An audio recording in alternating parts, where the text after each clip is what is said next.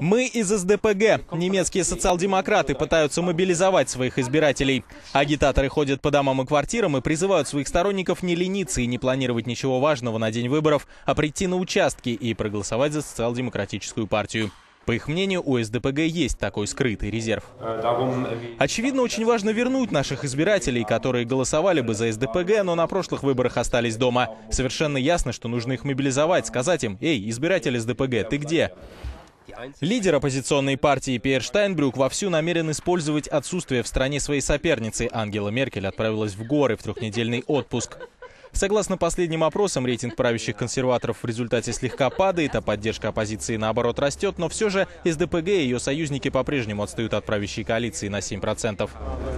В рядах христианских демократов, однако, предпочитают не расслабляться. Во-первых, в теории оппозиция может закрыть разрыв, вступив в коалицию с левыми, хотя в СДПГ обещали этого не делать.